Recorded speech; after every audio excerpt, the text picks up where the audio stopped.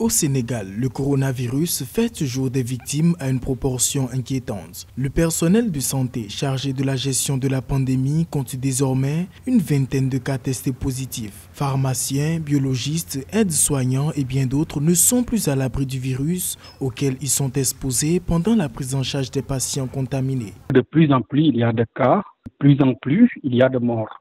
Même si on ne peut pas comparer ce qui se passe au Sénégal par rapport à ce qui se passe ailleurs où il y a des, milliers de morts. Pour ne pas s'exposer davantage, pour ne pas exposer surtout le personnel soignant, il faut que les mesures barrières soient, soient respectées. Il faut que sinon, à long terme, on risque d'avoir de nombreux cas graves. Une situation qui s'explique par les cas communautaires et une forte absence de dispositifs nécessaires afin d'éviter le contact direct avec les malades du Covid-19. Les conséquences se font déjà sentir au niveau des structures sanitaires où une bonne partie du personnel médical est mise en quarantaine.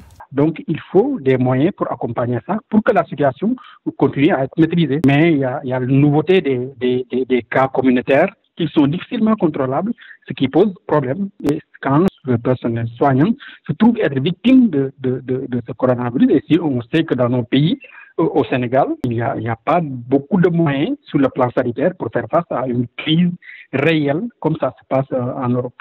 Les agents soignants étant en sous-effectif, le ministère sénégalais de la Santé et de l'Action sociale a lancé une vaste opération de recrutement du personnel pour une durée de six mois dans le cadre de la lutte contre le coronavirus.